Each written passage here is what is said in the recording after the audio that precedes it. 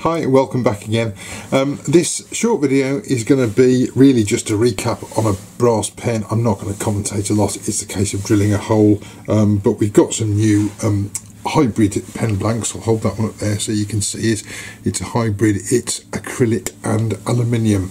Um, and there's about around about 40% aluminium in there so it's a, a quite an unusual blank so um, I'm literally not going to talk a lot today I'm just going to um, drill and turn this and I'll speed the thing up and we'll hopefully see a nice hybrid blank on the end of a, a solid brass pen kit and see how that works. Um, I hope it's of interest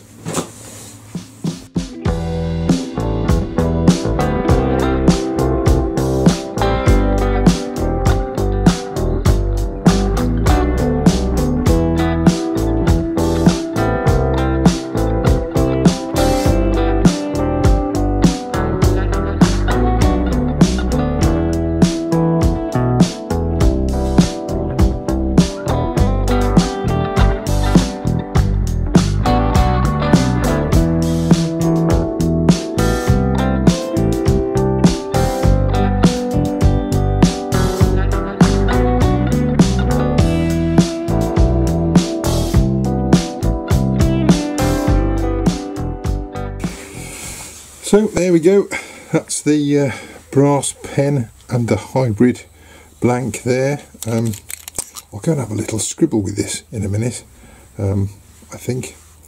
Um, but that's the that's the brass pen, and because I had a little bit left over, I did one of our keyring kits as well. They're really rather nice blanks. You can see the metal at the surface in some places and just underneath the surface in others, and it gives it quite a Uh, a depth. I don't know whether the camera's quite picking that up. Anyway, I hope that's been helpful. Until next time, take care, stay safe in your workshop. We'll see you next time. Bye bye for now.